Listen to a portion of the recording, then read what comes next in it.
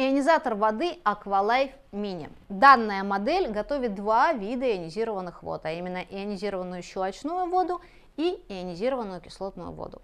А, в нем получится 600 мл кислотной воды и 800 мл ионизированной щелочной воды. Данная модель очень удобна тем, что ее легко брать с собой, забирать с собой в отпуск, возить на дачу, возвращать обратно домой. Очень удобно для тех, кто живет, например, один и ему не надо много воды. Катод выполнен из нержавеющей медицинской стали. Этот электрод выполнен из титана и по системе АИРТа восьмикратно покрыт металлами платиновой группы иридием и рутением. Достаем внутренний стакан, покажу вам, как менять мембраны. Две мембраны у вас уже установлено. Обратите внимание, стрелочками указано направление, как вам необходимо мембраны вернуть на место до конца, фиксируем удобный носик, за который вставляем стакан на место. Две мембраны, как я уже сказала, предустановлены, и 50 у вас идет в комплекте с ионизатором воды Aqualife Mini, равно как и жидкий pH-тестер объемом 10 мл и подробнейшая инструкция в фотографиях. Как готовить ионизированную воду в ионизаторе воды Aqualife Mini. Наливаем воду сначала в стакан, по указанным внутри меткам. Вот меточки у нас. Наливаем в основную емкость до указанных меток. Оп. Далее надеваем крышку. Важно темный электрод помещать во внутренний стакан, где у вас будет получаться кислотная вода. Светлый электрод в основной кувшин.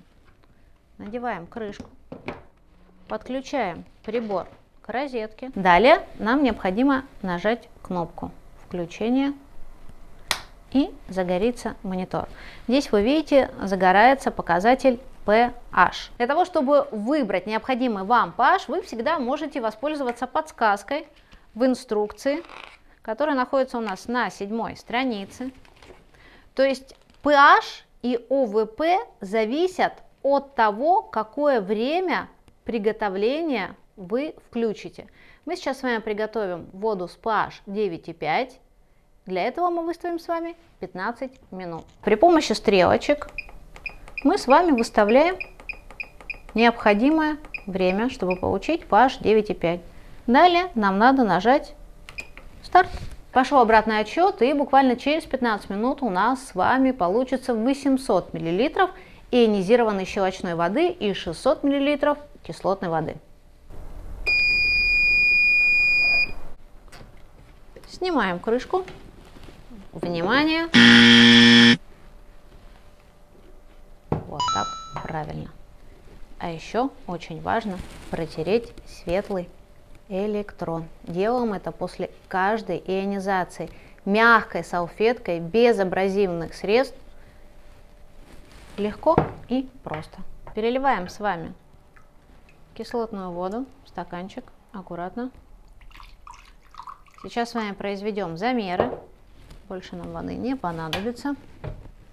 В другой стаканчик наливаем с вами щелочную воду.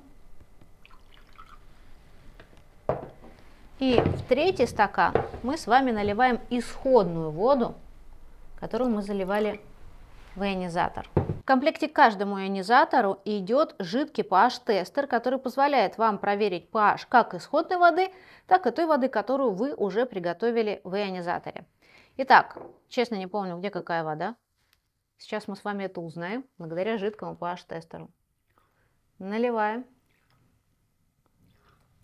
А теперь сверяемся со шкалой. Зеленая получилась вода, нейтральная это исходная вода. Здесь у нас с вами получился очень красивый, темный, насыщенный синий оттенок, и мы видим, что это равно pH 9. И здесь мы видим светлую водичку, это кислотная вода с pH 4, ну 3, где-то на грани. Вы всегда сможете проверять pH воды, которую вы пьете и которую готовите. Пейте правильную воду и будьте здоровы!